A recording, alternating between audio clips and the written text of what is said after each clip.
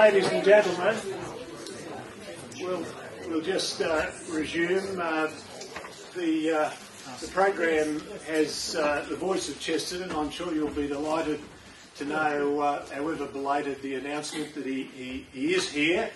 Um, he's just recorded this on YouTube, and uh, it's a, a toast that he proposed at a literary dinner in London uh, following the toast proposed by Rudyard Kipling, and he pays tribute to him, um, to the Canadian Literary Society that had offered hospitality and awards to both Chesterton and Kipling, as well as many others.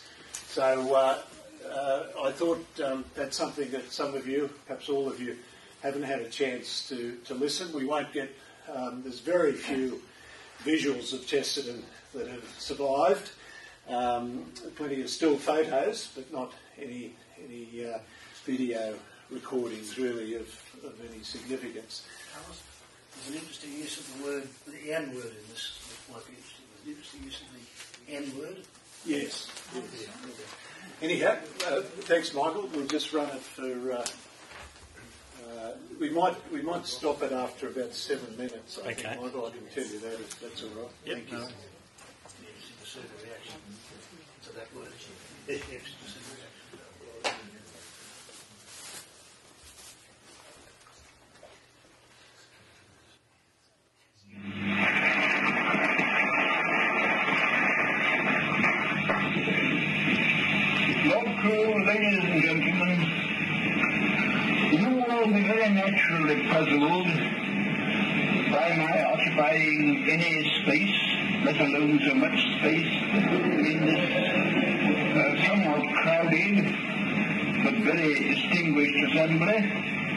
And you will naturally ask why any words of mine need be added uh, to the uh, distinguished and beautiful words of that great veteran genius of literature uh, whom we have the honor of having with us today.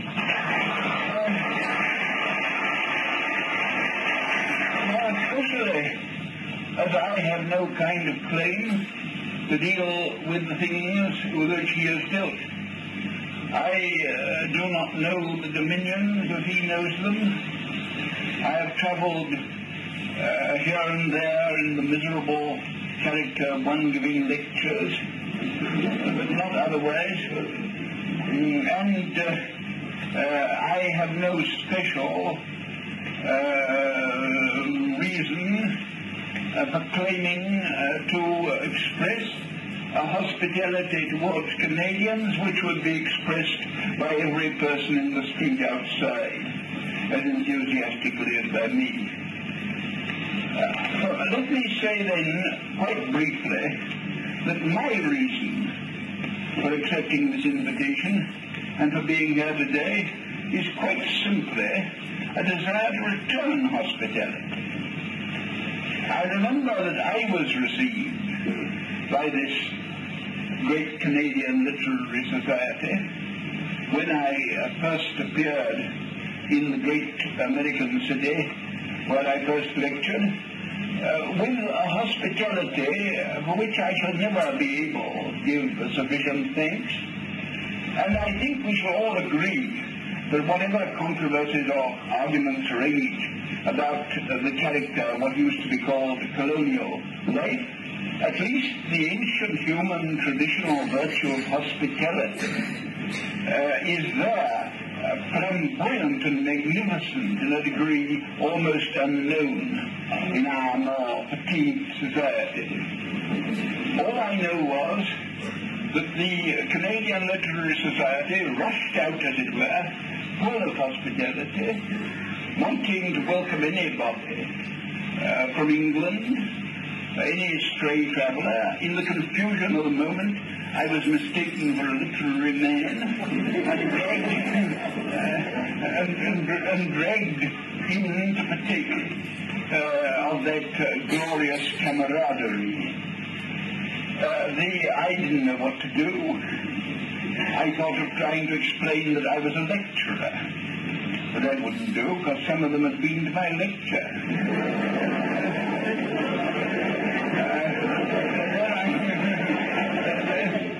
then I thought, uh, could I say I was a journalist? But I was quite sure that would not go down.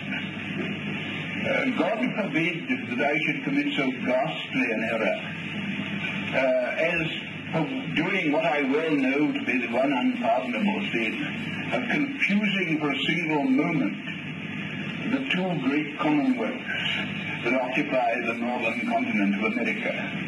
Uh, but uh, I think I think it is uh, true to say that the ideal of a pressman, that the strenuous virtue required of a journalist, is somewhat similar in Canada and in the United States. A pressman means a very different sort of person from me.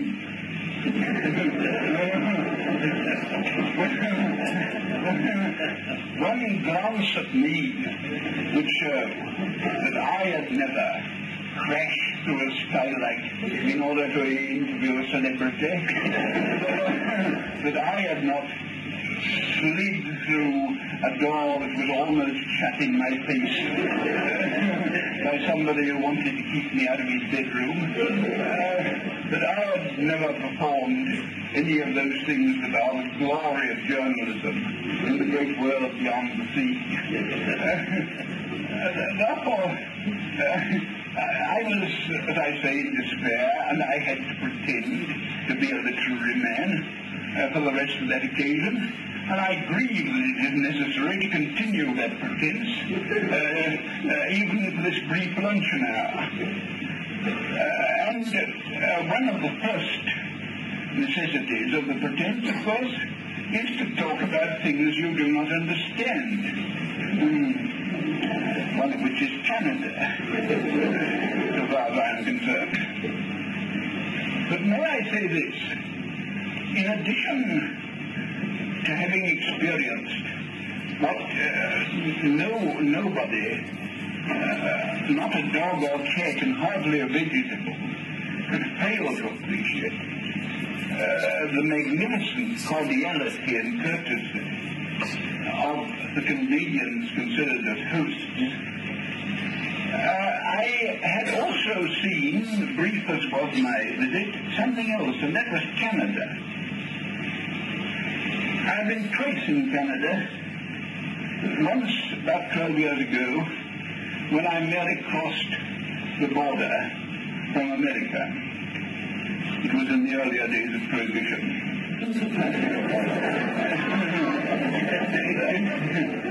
it gives me a peculiar sense of gratification that though I, who have said almost as much in abuse of the British Empire or British uh, government, as Mr. Kipling has said in praise of them.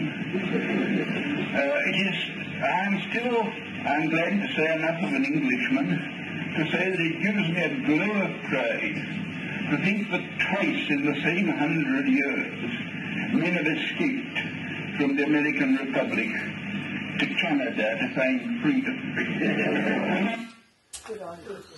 Good on you that's probably probably enough. Just as a, a bit of bit of a teaser. Um, it's available on YouTube anyhow for anybody who'd like to hear the whole uh, speech. And there, there are, are, other um, uh, rather short pieces available there uh, as well. Um, so as I said, unfortunately, a remarkable amount of uh, Chesterton's material, including the broadcasts that he made for the BBC in his closing years. He was a very popular radio broadcaster, uh, and he died um, in 1936. Uh, and as far as I can tell, um, very, very little of that has uh, survived. It wasn't archived at the time. So, um, we, uh, what, what, fragments there are, um, that's, that, that is one of them. So, thank, thank you very much for that. Thank you, Michael, for, for doing that. We might uh, just move on to the um, to the, to the next paper, and uh, Edmund O'Donovan has kindly consented to uh, make the introduction. Yes, Karl, Karl felt it was not appropriate for him to introduce his own paper, which is, is, a, is a rare sign of humility on, on Karl's part. Now, for people who don't know me, my name's Edmund O'Donovan. Uh, I'm uh, associated with Karl. Uh, we're both on the board at, at Campion College here. Um, and Karl kindly invited me to, um, uh, to, to, to, introduce him, a, a, man at this conference who really requires no introduction. When, when I arrived here, uh, one, one of the uh, alumni asked me if I was a great Chesterton fan, and I, I, had to, I had to think for a minute, and I thought the best reply is I'm not a fanatic. Um, which is always the accusation of anybody who actually knows something about uh, things. So, so, I'm not a Chesterton fanatic, um, but, and to be asked to say anything at a Chesterton conference in, with uh, a number of the people in the audience here um, who perhaps might be described as fanatics is, is a bit daunting. So it was nice for me to see um, Damien, um, sorry, Stephen McInerney up the back there when he got up, also feeling a little uncomfortable talking here. So I, I appreciated that, Stephen, uh, that, that, that, you did that. Um, of the little Chesterton that I have read, one of one of the uh, the, the, first things I read was a uh, biography of um, St Francis of Assisi because I thought it would be helpful to know something about this wonderful man.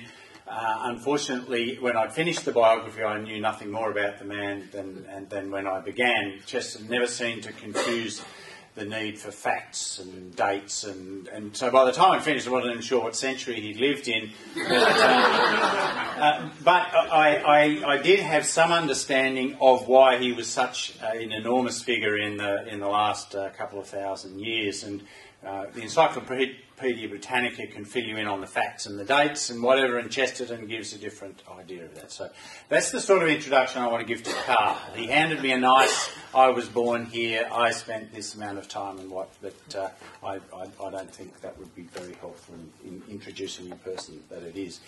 Uh, I, I, had uh, put together a few thoughts uh, during the week after Karl asked me this, and I was going to start by saying that the, the reason Karl's a great Chesterton fan publicly is because he's not allowed to be a Karl Marx fan.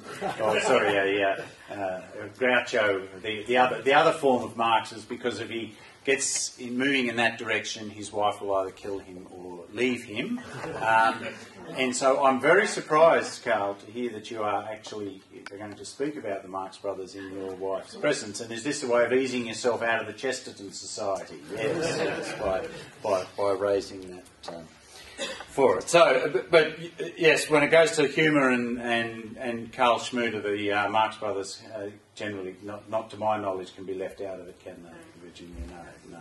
And hopefully not too many puns, Karl. You started off with one this morning, but um, just, just you know, not, not, not too many. Karl's parents met the day before they were married for the first time. Um, uh, it's, it's, the story's a bit longer than that, but that was actually a fact, that, uh, and it, it, all seemed to work out. So long courtships and whatever clearly aren't uh, part of it. Karl was brought up living in Kirribilli House, which um, uh, he, he, recounts the story of when he saw Sound of Music and they're living in this castle, and then he drove home in his old beat up Volkswagen down the gates and the gravel pathways of Kirribilli House. And again, that's another story, but it's a magnificent. The idea of the appreciation of things that have been left behind, I'm sure, came to Karl as a, as, as, as, as a young person and a young man. He studied and worked as a librarian for a considerable period of time uh, before he got involved in, well, I, I, think his involvement in Campion College really has been the whole work of his life for uh, even for the 20 years or 30 years before it actually uh, came to fruition. Uh, and during that period, uh, the, he was a member of the, the Campion Fellowship by the time that Karl got to it. Um, and he, he really, as, as uh, not the right thing, and as sort of an incidental layperson, as in he hasn't been head of a university or whatever, just as, as, as quite a private person, has taken a very big stand uh, over several decades, uh, what I say is to, to shine the light uh, and keep, keep the flame burning when it could easily have gone out. When I first became involved with Campion, um, um, one of my brothers remembered uh, a Karl Schmude that used to write in the Catholic Weekly and had a, a fairly uh, long and torrid exchange with a liberal Dominican was it? Yes, yes. Anyway, Karl's saying that yes, God does still exist, and sort of things along those lines that weren't all that popular to be to be saying at the time.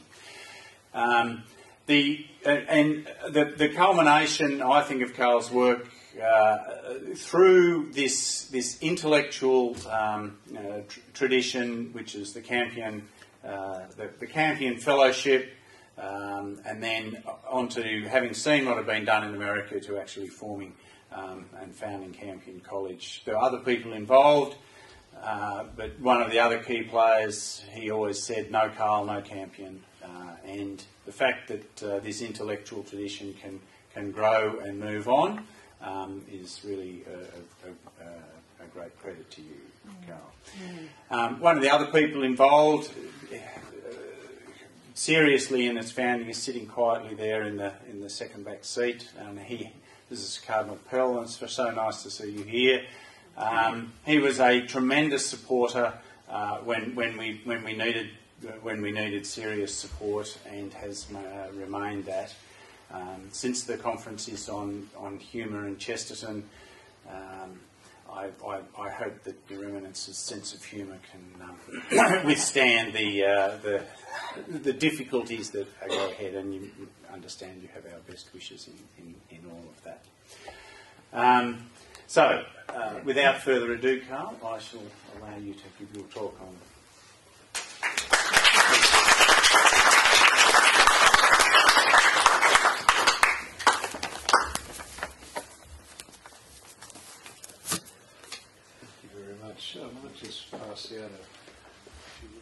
taking one and just passing it on, please. I'm going to be quoting, as various uh, speakers have today, uh, from Chesterton. I thought it might be helpful if I just put together um, various quotes, particularly the longer ones, uh, so that people can have them and can refer to them if they wish. Thank you very much, Edmund, for those kind words and the warnings about my uh, marital future. Um, I, am sure it will survive this afternoon, but nonetheless, I take those warnings to heart. Let me begin, ladies and gentlemen, with a familiar Chesterton quote. The human race, to which so many of my readers belong. now, this is the opening line, as many of you will recognise, of Chesterton's novel, The Napoleon of Notting Hill published in 1904, and has often been quoted as a piece of playful nonsense. Yet it could almost pass for a line from a Marx Brothers movie. Groucho Marx, in particular, lifted frivolousness and inanity to a new level of intellectual cleverness. Most of his remarks were more absurd and certainly crueler than anything Chesterton ever said. Just some samples. You've got the brain of a four year old boy, and I bet he was glad to get rid of it. she got her looks from her father. He's a plastic surgeon. I've had a perfectly wonderful evening, but this wasn't it. As he said about one of his brothers one time, he may look like an idiot, and talk like an idiot. But don't let that fool you. He really is an idiot.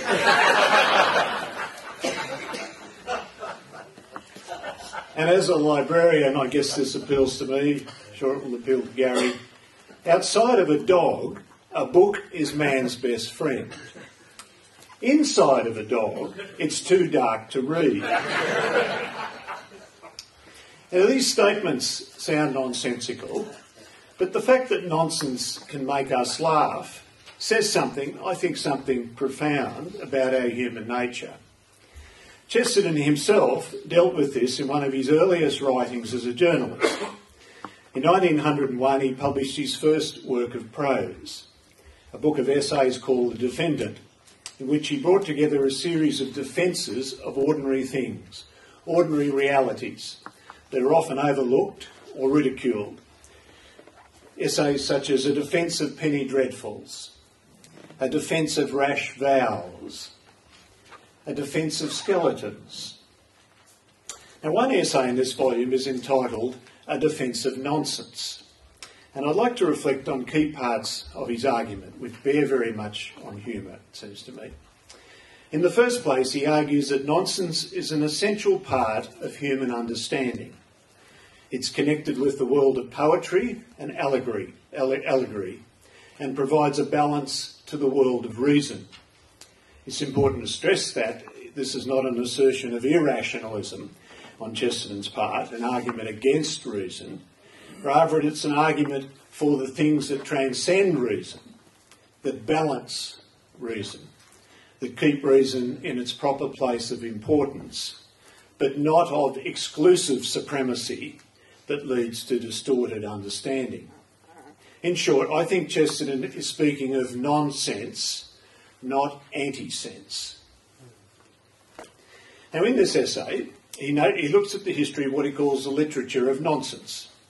He notes that some of the world's greatest writers, such as Aristophanes and Rabelais, engaged in such writing, but he characterises this as the instinct of satire, rather than, in the strict sense, the instinct of nonsense. That is, they took the features of a particular person and exaggerated them for symbolic effect. By contrast with nonsense, which for no particular reason, Chesterton said, imagines those features on another person. Chesterton himself engaged in satire on many occasions, especially in the cause of Catholic apologetics. For example, he produced an imaginary interview to satirise popular intellectuals like H.G. Wells who, as uh, Gary was referring to in Wells's outline of history, um, showed a naive, uh, it was John, I think, uh, sorry, John, uh, mentioned and, and, spoke about the outline of history. Um, Wells showed a naive belief in evolution as supplanting any faith in the Bible. So Chesterton's imaginary interview began by recording, and I quote, the recently discovered traces of an actual historical flood, a discovery which has shaken the Christian world to its foundation by its apparent agreement with the book of Genesis. Mr. H.G. Wells exclaimed, I am interested in the flood of the future, not in any of these little local floods that may have taken place in the past. I want a broader, larger, more complete and coordinated sort of flood a flood that will really cover the whole ground. Après moi, le déluge. Belloc, in his boorish, boozy way, may question my knowledge of French, but I fancy that quotation will settle him. Well, in the course of his defence of nonsense essay, Chesterton points out that the idea behind nonsense is that of escape. Not from something, not escape from something, but as he puts it, to something. In fact, an escape into a world, as he says, where things are not fixed horribly in an eternal appropriateness. Now, could we find a more appropriate word for our times than the overused word appropriate, or even more inappropriate? It seems to me this general insight of Chesterton's touches on the nature of the Marx Brothers' humour. Their humour has often been characterised as bringing chaos to an apparently fixed order. And yet their humour, I think, is in essence an attack on the falsity of that order, reinforced as it was by pomposity and complacency, by snobbery and hypocrisy. Nobody, as one critic said, could unstuff a stuffed shirt more quickly and more completely than Groucho Marx. The British journalist Bernard Levin once commented when Harpo Marx eats the lighted candle, the thermometer, the telephone, the cups and saucers, when Chico double crosses everybody at once, when Groucho flings his restaurant bill before a beautiful stranger with the cry, This is an outrage. If I were you, I wouldn't pay it. They are loosening the bonds that bind society. And in doing so, loosening the bonds that bind us in the audience, that inhibit us from total surrender to their assaults on reason, logic, propriety, and the language. When the bonds are released, Bernard Levin went on, that surrender takes place. There were no, more, no lukewarm admirers of the Marx Brothers, and anyone who finds them funny at all has also at times found himself physically helpless and almost ill with laughter. Now, at this point, ladies and gentlemen, I thought I'd play a short uh, two clips, really. They're together from two movies. Uh, the first is called The Night at the Opera, which I based the horrible pun on the title. Uh, and all the Marx brothers are trapped in a stateroom, a very small room, on a liner that's sailing to um, uh, from from New York, I think. Um, and uh, Groucho is the only one who's recorded as being in this room.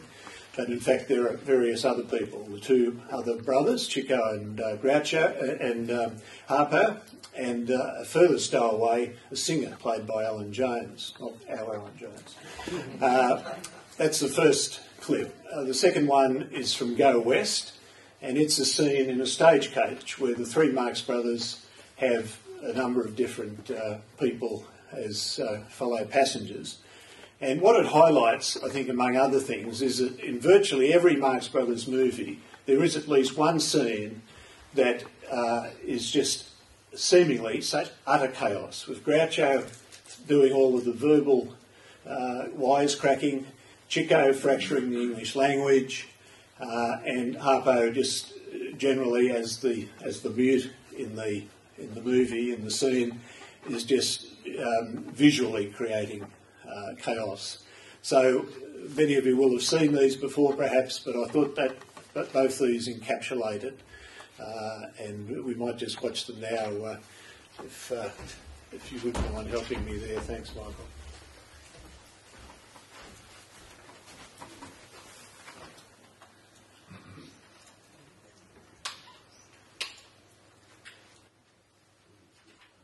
Stewart! Stewart! Stu! Yes, sir. I say, Stu. Yes, sir. What do we got for dinner? Anything you like, sir. You might have some tomato juice, orange juice, grape juice, pineapple juice. Hey, turn off the juice before I get electrocuted. All right, let me have one of each. And uh, two fried eggs, two poached eggs, two scrambled eggs, and two medium boiled eggs. And two hard-boiled eggs. And two hard boiled eggs. Make that three hard boiled eggs. and uh, some roast beef, rare, medium, well done, and overdone. And two hard-boiled eggs. And two hard boiled eggs. Make that three hard boiled eggs. And uh, eight pieces of French pastry. There's two hard-boiled eggs. And two hard boiled eggs. Make that three hard boiled eggs. And one duck egg. Uh, have you got any stewed prunes? Yes, sir. Well, give them some black coffee. That'll sober them up. Two hard-boiled eggs. And two hard boiled eggs.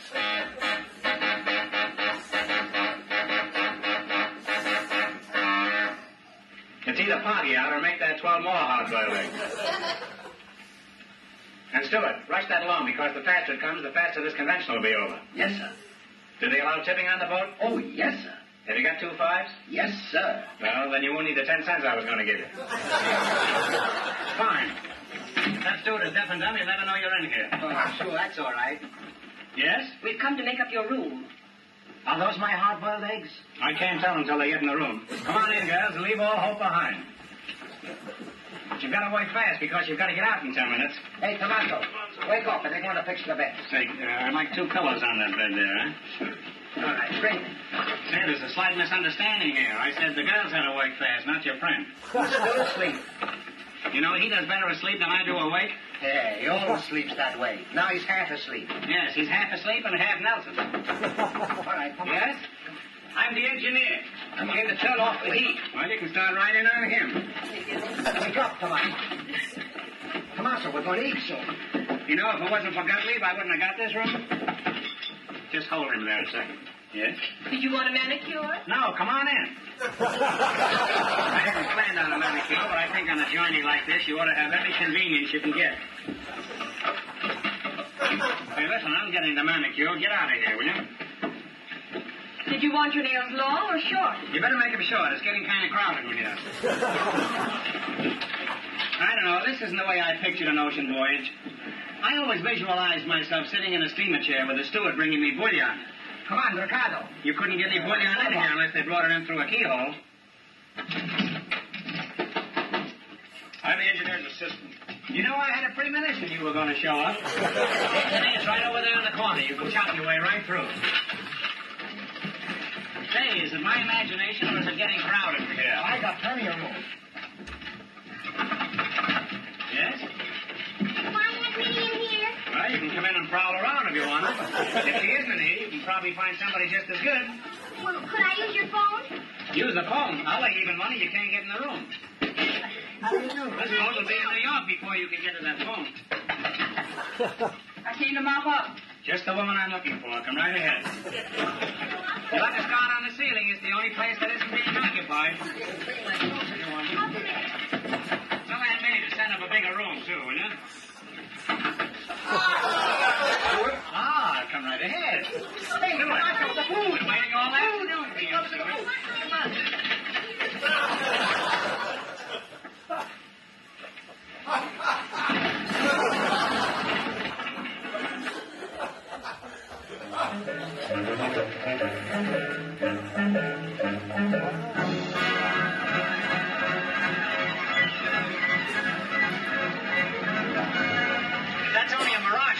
coming, I'm going to look like you in a few days.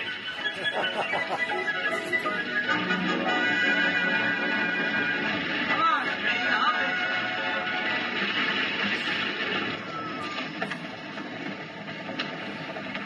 Hey, where did I see your face before? Right where it is now. London? How would you like to buy a diamond necklace that formerly belonged to the Tsarina of Russia? How did you get it? I used to room with Rasputin. One dollar. I'll buy it. Let me ten dollars. Why, sure, Mr. Fellow. Ten dollars. Nine dollars change, please. Let's forget about it. Nana, why is that baby constantly crying? He can't stand the jerks in the coach. Wait, wait a minute. This is nothing personal. Need anything by it. Woo! Ten dollars for every you hit. I'm so sorry. I start straighten around. That's it. Puzzle, let my puzzle go. That is it, boy. Here. I can fix this puzzle. All right, myself. he's just helping you there. Nana, it's none my business, but are you wearing a revolving door? If you are, I'd like to go around with you sometime. Now then, uh, Mr. Pinello, instead of bargaining with you for the rights of the land, I intend to make you a liberal offer, which I feel you'll instantly accept. How much you going to pay us for this land? Five hundred dollars. Five hundred dollars. We're going to be rich. Now, all I need is both your signatures. Oh, uh, on the bottom. On the bottom. There you are. I'll give you a thousand dollars. How dare you, you meddlesome fool! I heard that. If you weren't smaller than me, I'd flog the daylights out of it. But I'm bigger than you. Well, that's another reason. You want to pay us twice as much for this land as the railroad? Yes, and it's a lucky thing for you I got here in time. Mr. Pinello, you don't even know who he represents. At least you know my offer is bona fide. That's right. How do we know your offer is bona fide, huh? Are your hands clean? Sure. And here's my card. Bona fide oil company. Esquit and Quail, Press. And look, here's a whole company is a bona fide. In all my long business experience, I've dealt with every important oil firm, and I've never heard of your company. You haven't. Evidently, you don't read the bankruptcy notices. well, it works out fine. We get your land, you get a thousand dollars, and our friend here gets bounced by the railroad for letting this oily deal slip through his greasy fingers.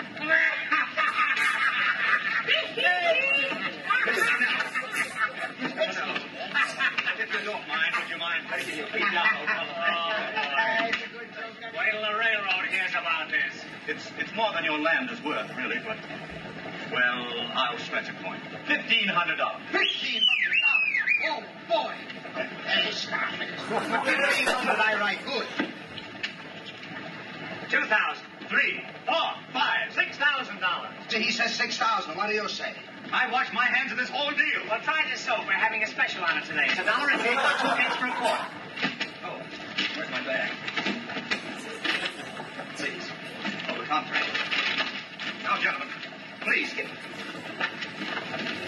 Give me my hand. Where's my hat? Where is my hat? My hand? There it is. Here's yours. Gentlemen, I have a whole railroad on my shoulders. and I'd like to get something done. I want please. my hat. Oh, you have my hat, madam. Here's your hat. Have you found this pen, please? I've got to get a contract signed. Where is the... Mind if I take my hat? I've never been on a trip like this before.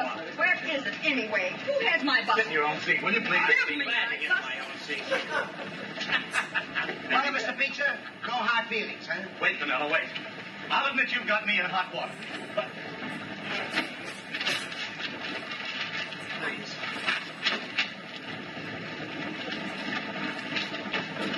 Why don't you let me get this signed? Where's my hat? Here, here.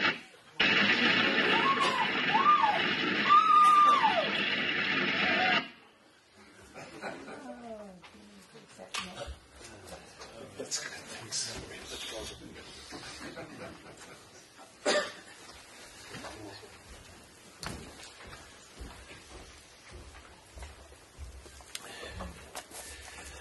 They're the only clips that I am showing, ladies and gentlemen. Well, turning back to um, Chesterton's essay, A Defence of Nonsense, he further notes that nonsense emanates from an ordered world of moral realism. An ordered world of moral realism. It's not a mere aesthetic fancy or fantasy or a personal re- preference. It relies on a rich moral soil for its development. And this is what he says. Every great literature has always been allegorical, allegorical of some view of the whole universe. The Iliad, he says, is only great because all life is a battle. The Odyssey, because all life is a journey. The book of Job, because all life is a riddle. It is significant, he goes on, that in the greatest religious poem existent, the book of Job, the argument which convinces the infidel is not, as has been represented by the merely rational religionism, as he calls it, the merely rational religionism of the 18th century. What convinces the infidel is not a picture of the ordered beneficence of the creation, but on the contrary, a picture of the huge and undecipherable unreason of it. He offers a similar argument in his great study of Christian anthropology, The Everlasting Man. There he argues that to understand the Christian view of nature, it's best to be inside Christendom as a believing Christian. But the next best thing is to be really outside it. For example, someone like Confucius. Rather than being in the position of popular critics of Christianity in the West, who occupy a kind of halfway house, they live in the shadow of the faith, in intensifying darkness. They live off its spiritual capital. They draw on its moral heritage, but they no longer believe it. And it's no longer sustainable as the bedrock of our culture. Thus, the alternative to a sane vision of man, Chesterton proposes, is actually a mad vision.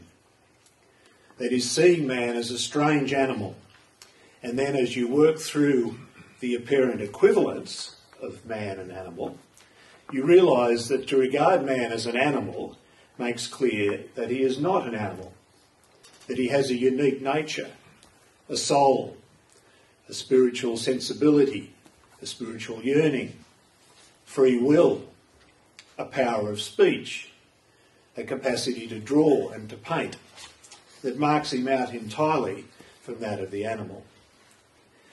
So, to turn to Chesterton's great work of Christian sociology, What's Wrong with the World, there's another commonly quoted statement that seems like an echo of the Marx Brothers, and it's already been mentioned today. If a thing is worth doing, it's worth doing badly. Now, this is not nonsense, I think, but actually something else, namely paradox. The idea that truth is best understood as a single reality comprised of a balance between apparently competing and even conflicting truths.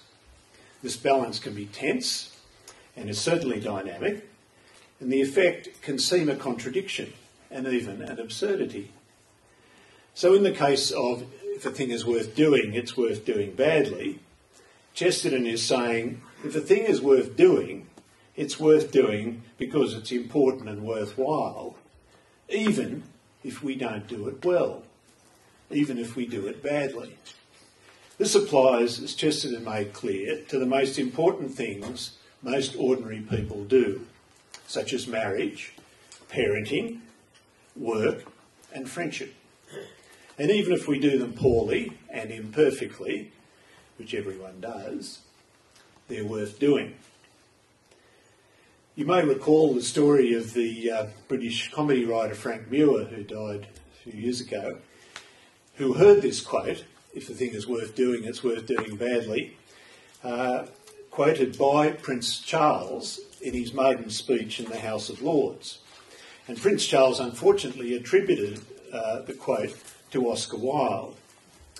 And uh, Frank Muir, who knew, knew, knew his Chesterton, was, uh, was very upset by this. And in his autobiography called A Kentish Lad, he recalls it.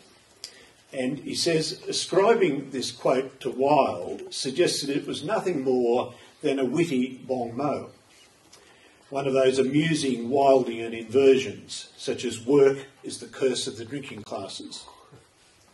But coming from Chesterton, Muir goes on, meant it was a more thoughtful observation. In Chesterton's work, his humour arose from a serious thought. What Chesterton was saying in a piece about playing croquet was that playing a game simply because you enjoyed playing it, perhaps hoping to get better at it in time, is a worthy enough reason for playing it, however badly. So he was in a tetchy mood, was Frank Muir, and uh, he telephoned the London Times and he left a message uh, for the editor of the diary column explaining how important he felt it was that the quotation was given its pro- proper author. Well, next morning the Times appeared. They put the Prince's uh, maiden speech in the House of Lords on the front page, and it began last night. The Prince of Wales began his maiden speech, etc. And then there was an asterisk, and at the bottom of the page was his twin asterisk.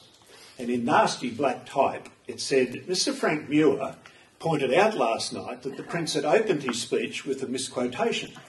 The line was not written by Oscar Wilde, but by G.K. Chesterton. Other newspapers then began telephoning for follow up stories. Worse happened, says Muir.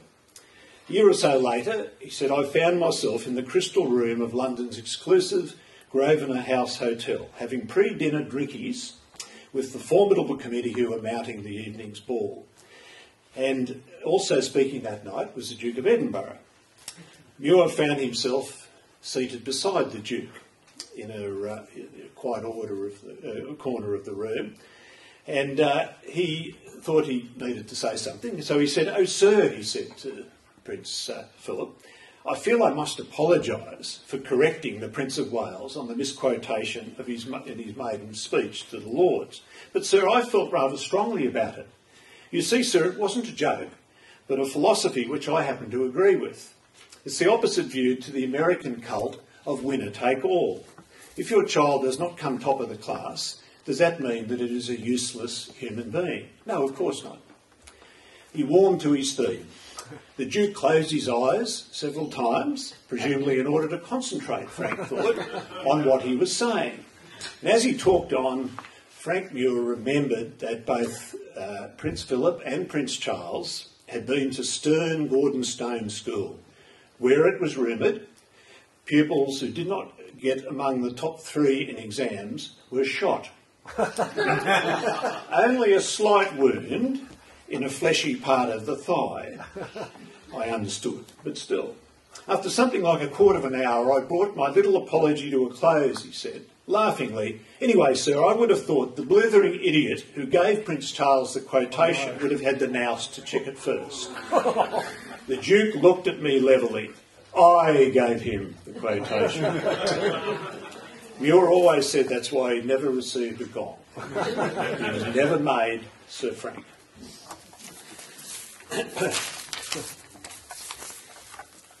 now, just Chesterton thought uh, that the history of heresies of intellectual mistakes with enormous religious and social and political consequences, Stephen touched on this earlier today, reveal the importance and value of paradox. Heresies consist of emphasising one truth at the expense of another, plucking one truth, as it were, out of the treasury of truths and making it the whole truth. The tendency reflects an inability to keep two truths alive at the same time without diluting or denying them. The result of isolating one truth and making it the whole truth disturbs the delicate balance of truths. And it's this which leads to the intellectual error that is heresy. In other words, heresy begins with truth, but it ends with the denial of truth. Chesterton illustrates what he means in the central chapter of Orthodoxy, his great apologia of faith. And there he explains that the truths about God and man are best expressed in paradox. That reconciling, for example, the justice of God with the mercy of God should be done not simply by combining them, which is likely to mean diluting them, reducing them to a lowest common denominator, but rather by combining them, in Chesterton's words, uh, as furious opposites, keeping them both, said Chesterton, and keeping them both furious. So he took the virtue of courage, for example, and he pointed out the paradox at the centre of courage that it means a strong desire to live, taking the form of a readiness to die. Corresponding to Christ's words, that he that will lose his life, the same shall save it. In a similar way, modesty, as the balance, to quote Chesterton's words, between mere pride and mere prostration, modesty is founded on the truth, enshrined in the Christian faith, that man has been exalted by his being made in the image and likeness of God, and yet humbled by the weakness of sin and the chronic misuse of his freedom. This touches very much on what Gary was talking about earlier. As Chesterton put it, insofar as I am man, I am the chief of creatures. Insofar as I am a man, I am the chief of sinners. Now, just as paradox was such, such an essential part of Chesterton's outlook, I think it pinpoints a key element in the humour of the Marx Brothers, namely their embrace and embodiment of paradox. For the Marx Brothers, this usually took the form of declaring one truth or an expectation founded on a truth and then overturning it with another. A couple of examples of the Marx Brothers combining and then shattering truths to produce a humorous paradox. When they appeared on Broadway, before they really got into movies, one of the younger Marx Brothers came to Groucho on the stage and said, Dad, the garbage man is here. And Groucho answered, Tell him we don't want any. so there is the familiar call about somebody's arrived at the door who's performing a service would create the expectation to respond by putting out the garbage. But no, it's upended by an answer that puts the garbage man into the same category as the milkman or the mailman or anyone else who delivers rather than collects something. Another example. Groucho receives a report from an official who expresses the hope that the report is clear. Clear, says Groucho? Why, a four-year-old child could understand this. Run out and find me a four-year-old child. I can't make head or tail of it. Again, we have the conventional statement of promise that even a child could understand this, which is then dashed by Groucho's riposte. So we have this combination, I think, of a truism we can understand, followed by an unexpected reversal. Almost a statement of nonsense in the Chestertonian sense of something that's outside of or beyond reason. It's not irrational, but is paradoxical. It involves a mixture and balance of truths that represent an assertion of reality with an acceptance of mystery. It's reminiscent of um, the paradoxical plea of a, a, modern Jewish philosopher who said, why, why is God making me suffer so much just because I don't believe in him? So, as I ponder the humour of the Marx Brothers, I see it as a kind of comical counterpart to, and even a comical extension of, the serious paradoxes that Chesterton found in creation. Well, let me move to just another dimension of humour that Chesterton and the Marx Brothers shared, I think, and that is the place and importance of exaggeration. We may immediately shrink from such a notion that exaggeration is something positive, something to be valued. Shouldn't we be resisting moderation? Shouldn't we be prizing uh, exaggeration? Sorry, shouldn't we be resisting exaggeration? Shouldn't we be prizing moderation? Chesterton argued that exaggeration was a sign of a healthy human life and a healthy culture. In his book on Charles Dickens, still regarded as one of the classic studies of Dickens, Chesterton uh, said that exaggeration is an index of how much we believe in something, and in that sense, care about it. It's only the things we doubt, he said, what we don't believe in or don't feel strongly about, that causes mildness and a sedateness bordering on passivity, virtually a state of indifference. He says, For we are all exact and scientific on the subjects we do not care about. But the moment we begin to believe a thing ourselves, that moment we begin easily to overstate it. And the moment our souls become serious, our words become a little wild. A further aspect of exaggeration, relevant I think to the humour of both Chesterton and the Marx Brothers, is Chesterton's insight into the qualities, the differences in the quality of humour between America and England and by extension, I think, the quality of humour in Australia. He thought that the essential difference between American and English humour lay in this that American humour involves a building up, a huge exaggerating of reality, what he calls a soaring imagination piling one house on another in a tower like that of a skyscraper. By contrast, English humour involves a putting down, relying on a sort of bathos and anticlimax for its effect. Both exaggerate, one upwards, the other downwards, one ballooning reality, the other deflating reality. Both derive their comical energy from exaggeration. The American, as Chesterton pointed out, making life more wild and impossible than it is, and the Englishman making it more flat and farcical than it is. Well, that might provide a topic for discussion later, perhaps especially in relation to Australian humour. Now, a final issue I'd like to canvass is the spiritual significance of humour. Can we link the experience of laughter with the deepest part of our nature? Might we even suggest that humour has a salvific effect and is a benefit for our souls.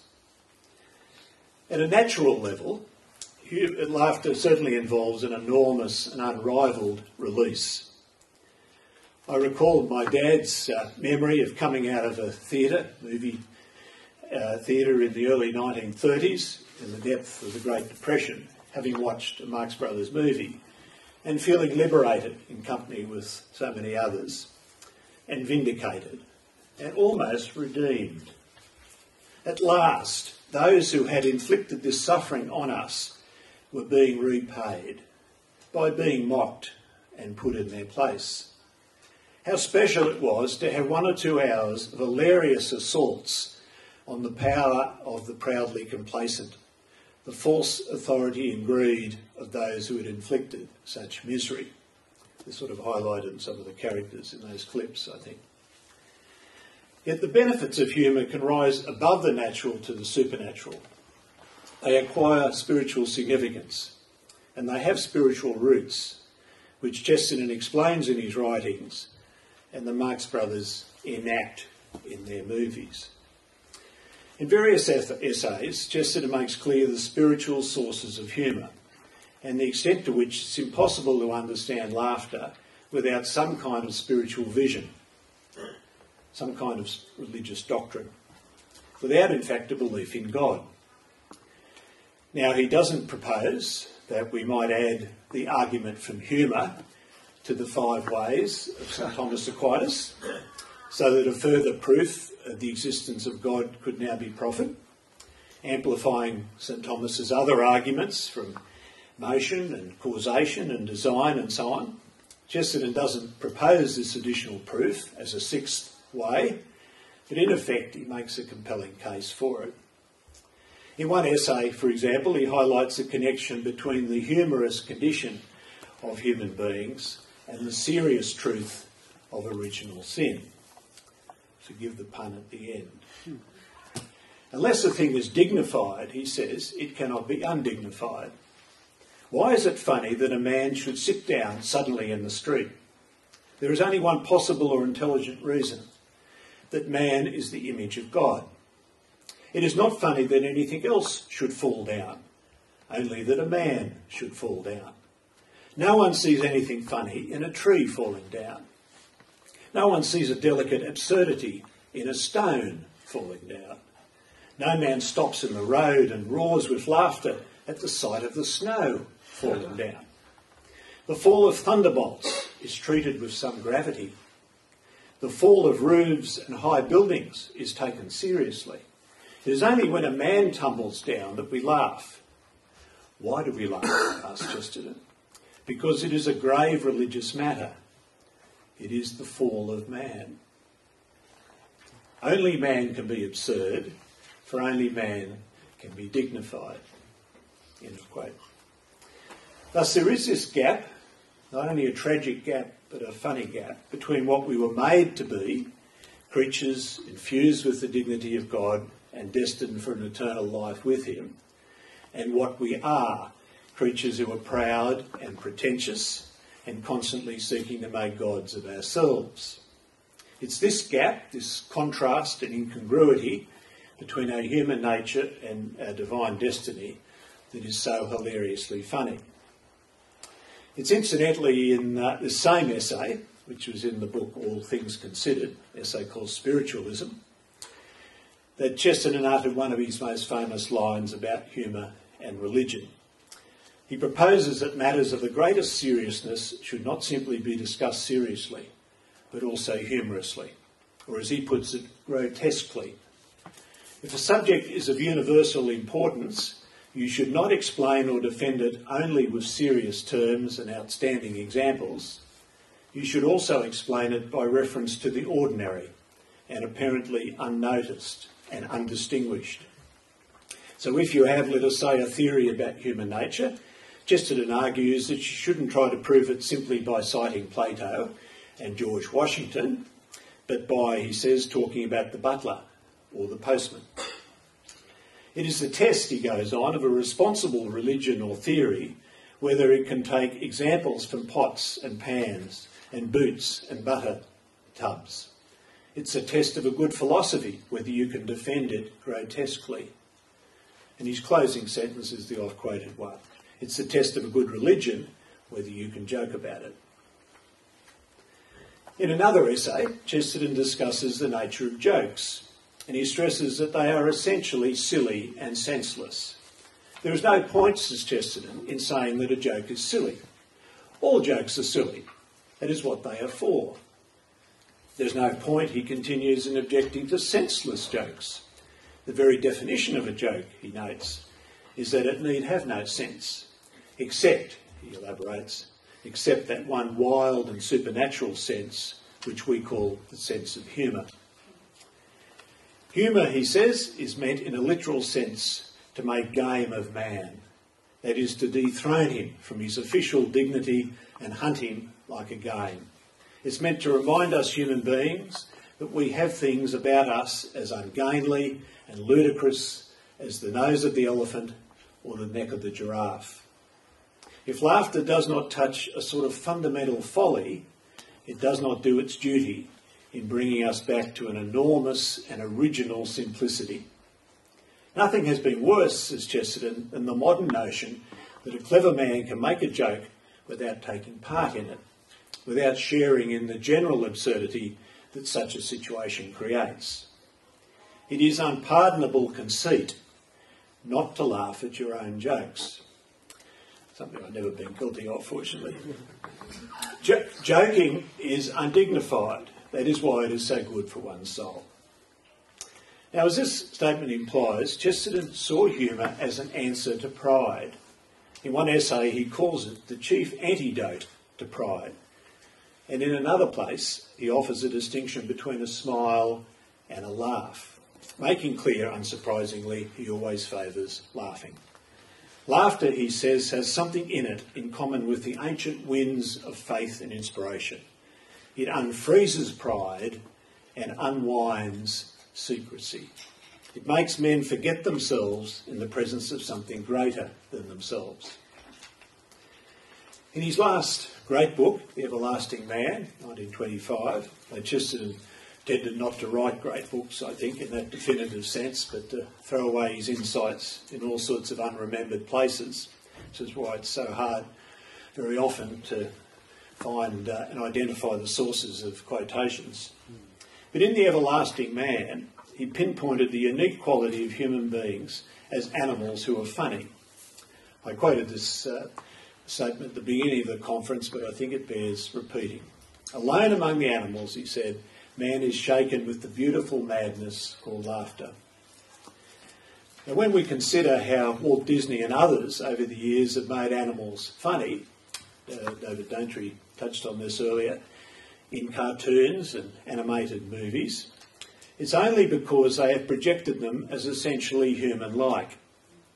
Animals are only funny when they are depicted and perceived as human beings. They're not funny as animals, they're only funny as human proxies. They're only funny when we project them as human like. They then bear the mark, the eternal status and dignity of creatures with a particular purpose designed by God.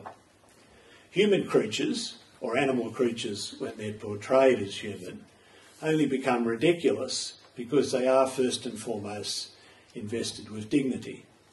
When they betray the dignity which God invested them, when they do not use properly the free will which elevated them as human beings, then they become funny. Their pride is rebuked. But before this, their divine condition is affirmed. And so it is at the supernatural level, laughter rises to the heights of paradise. Whether there will be laughter in paradise, we can reasonably conclude, I think, that laughter prepares us for paradise. Well, let me turn now finally to the fur- a further spiritual aspect of humour, and that is the religious sources of the Marx Brothers humour. For I think these represent, to a large extent, the deepest roots of their humour.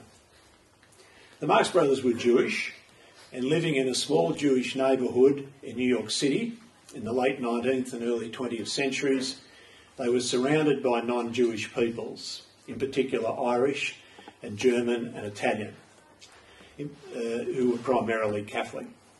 A reason, for example, why Chico Marx sounded like an Italian immigrant in New York was because he recognised that the Italians ran the neighbourhood in which the Marx family lived and he adopted an Italian accent so that he'd be more readily accepted. I think it's instructive to ponder the ways in which their religious traditions and perspectives influence their humour. The Jewish people, after all, have had an enormous impact on humour, contributing more to the humour of the 20th century and our own lives than anyone else. Hmm. The history of movies, in particular, has been hugely shaped by the Jewish people. All of the big studios, Metro Goldwyn Mayer, Warner Brothers, Fox, Paramount, were founded by Jews, and a huge proportion of the big name comedians have been of Jewish background.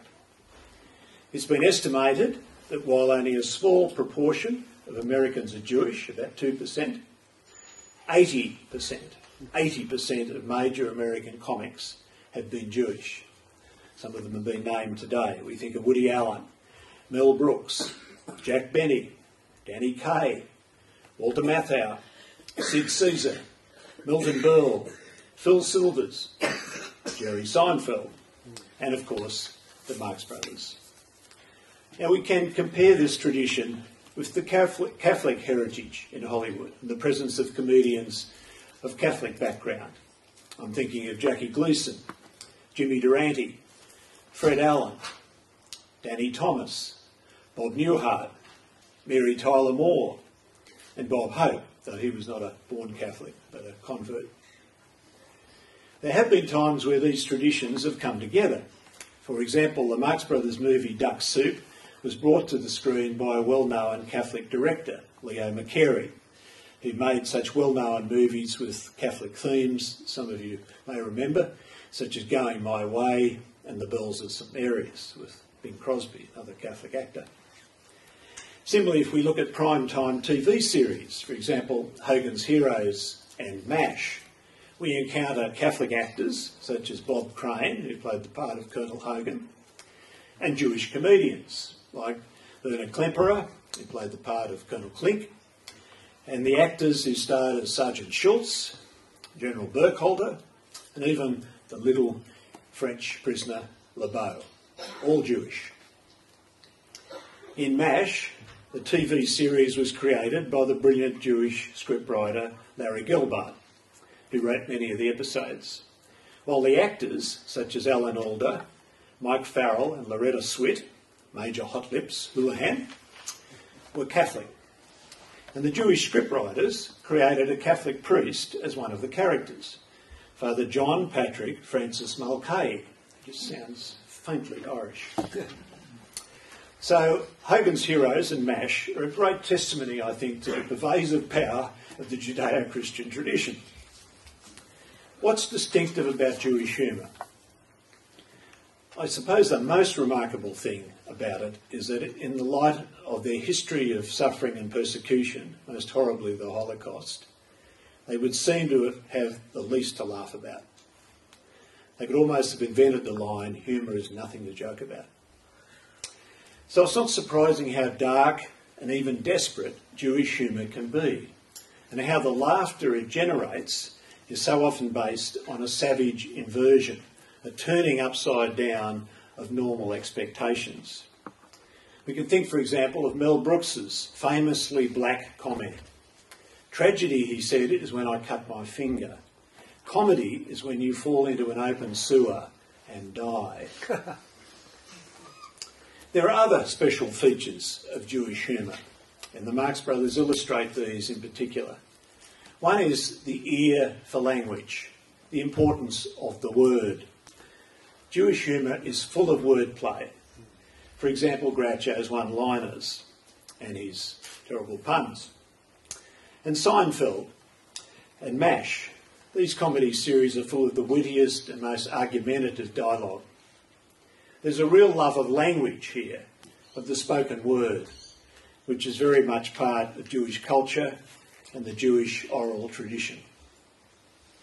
When we ponder the importance of language in the Jewish tradition and the love of wordplay that's rooted in the Talmud, the key texts of Judaism, we might reasonably see them as the people of the Word.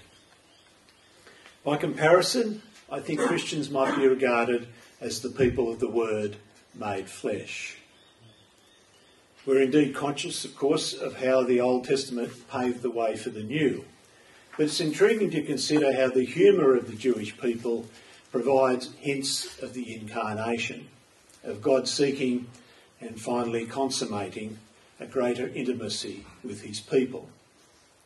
Two scholars, Hershey and Linda Friedman, have argued in a book called God Laughing that Jewish humour may bring may serve to bring God closer to his creatures, as though he were foreshadowing, this is my interpretation, not theirs, through the history of the chosen people, that he will finally seek a closer union in which humour as well as seriousness will reveal his mysteries more fully and more profoundly. You might recall the final moments of uh, one of Chesterton's plays called The Surprise, in which uh, the first part of the play, uh, the lines that have been written by the playwright, who's up in the wings, uh, uh, were delivered by puppets, and the script was faithfully adhered to.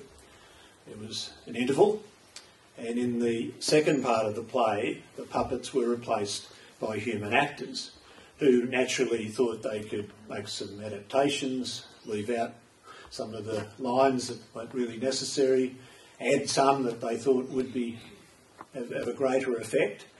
And as they proceeded to change what the playwright had done, uh, the playwright stands up in the wings and calls out, Stop! I'm coming down. And more than one scholar has pointed out this is Chesterton's great image of the incarnation. One Jewish joke, for example, suggests that the only limitations that God has are self imposed, and those are to protect the freedom of will that He has bestowed on us. In the late 1970s, President Jimmy Carter and Egyptian President Anwar Sadat and Israeli Prime Minister Menachem Met at the presidential retreat of Camp David in the United States. Suddenly, a heavenly voice called out, In reward for your efforts towards peace, you may each ask me any one question and I will answer it. So President Carter went first. Dear God, he asked, when will we have a nuclear free world? In the year 2048, God replied. President Carter began to cry. Why do you cry? asked God. Not in my administration, sobbed Jimmy Carter. Egyptian President Sadat asked his question Dear God, when will my Arab brothers finally be united? In the year 4004, God replied. And then Sadat began to cry. Why do you cry? asked God. Not in my administration, replied Sadat. Then it was Prime Minister Begin's turn. Dear God, when will Israel finally begin to get fair treatment in the world media? And then God began to cry. Dear God, Begin asked, why do you cry? And the Lord replied, not in my administration.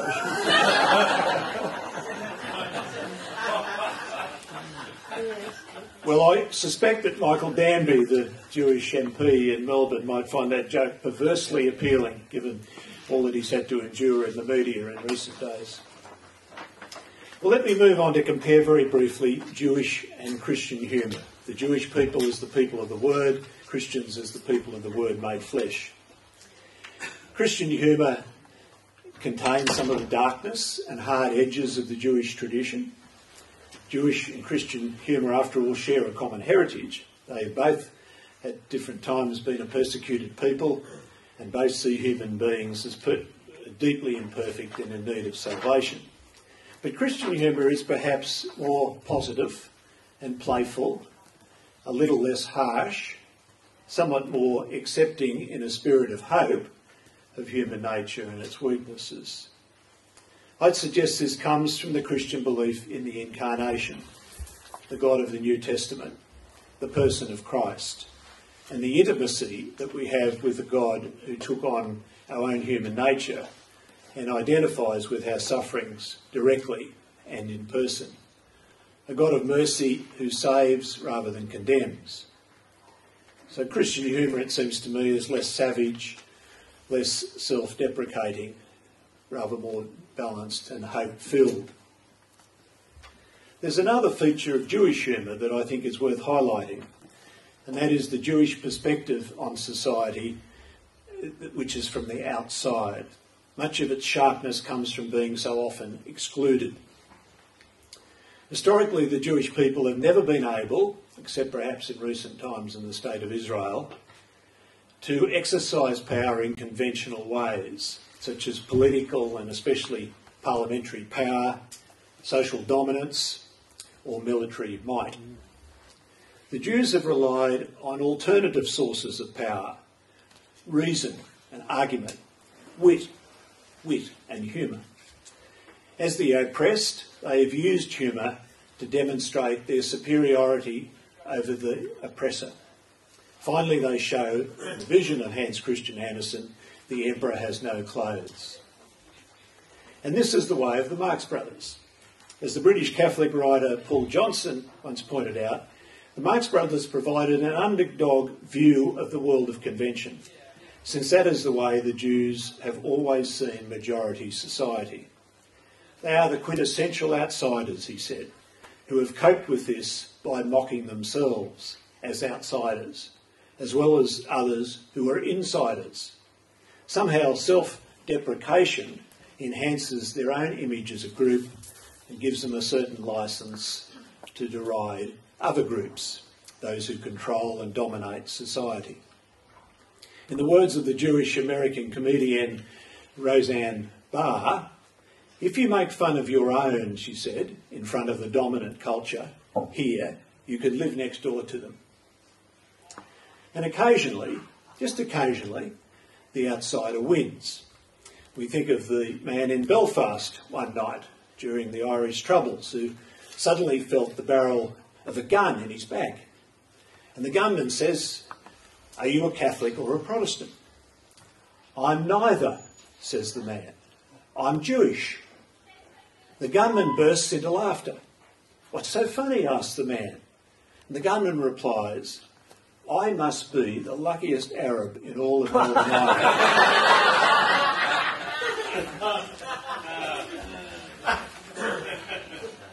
the creator of the TV series MASH, Larry Gelbart, I mentioned earlier, has said that his Jewishness has always influenced his script writing. Everything I do, he said, is tinged with the Jewish perspective as the outsider in American culture, the observer ready with a caustic or witty observation when you're lucky, someone on the defensive. Comedy, says Gelbart, is a sword and a shield, and we, the Jews that is, have often needed both as a people. To quote Mel Brooks again, one of my lifelong jobs, he says, has been to make the world laugh at Adolf Hitler.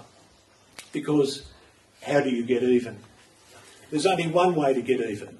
You have to bring him down with ridicule. The late Robin Williams, who regarded himself as an honorary Jew because of the parts he played and uh, his style of humour, even though he was raised a Christian, he was once asked in an interview in Germany, Mr. Williams, why do you think there is not much comedy in Germany? And Williams answered, Did you ever think you killed all the funny people?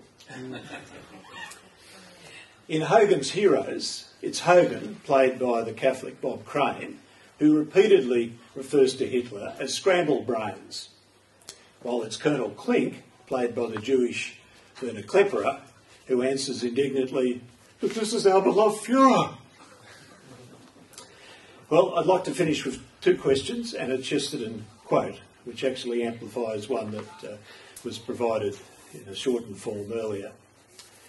The first question is a speculation. Could Chesterton have featured in a Marx Brothers movie? And if so, which one? My only thought is the playwright in the 1938 movie Room Service, in which the Marx Brothers are trying to get a stage play produced and funded while evading paying the bill at the hotel where they're staying. But since this movie was made two years after GK died, uh, this doesn't look promising. And in any case, whether Chesterton might have outwitted, in the literal sense, Groucho Marx is probably another reason he didn't appear in a Marx Brothers movie. The second question is an historical one.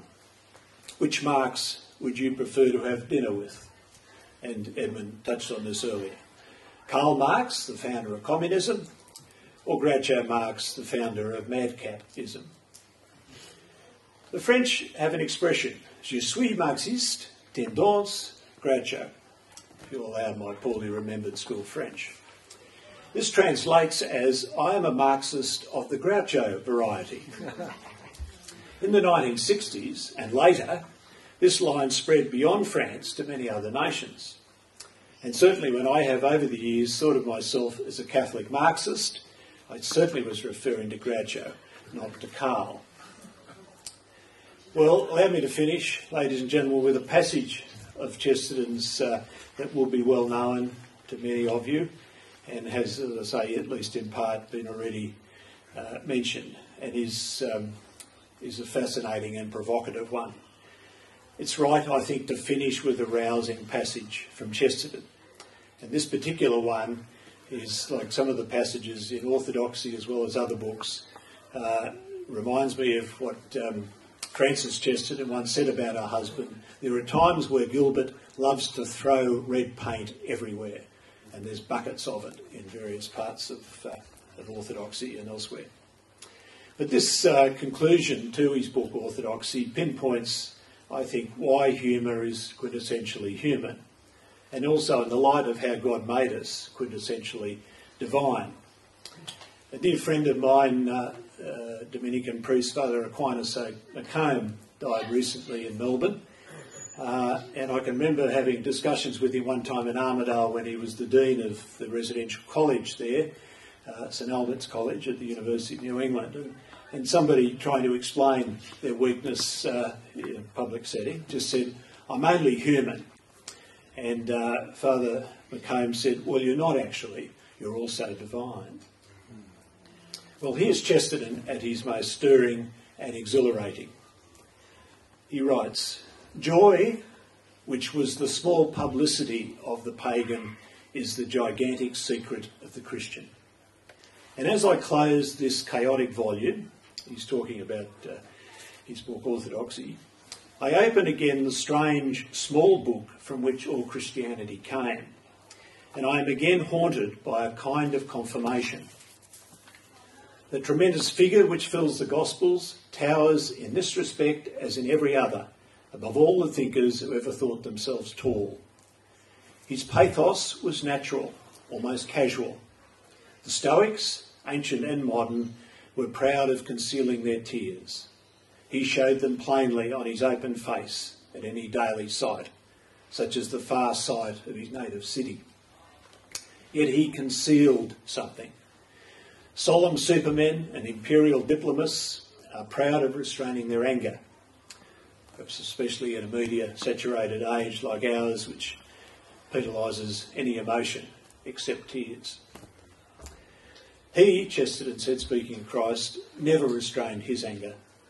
He flung furniture down the front steps of the temple and asked men how they expected to escape the damnation of hell.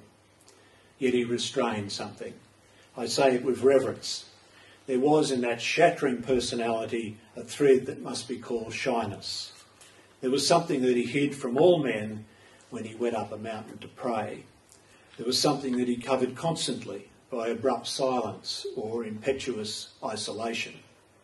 There was some one thing that was too great for God to show us when he walked upon our earth. And I've sometimes fancied it was his birth. Thank you very much.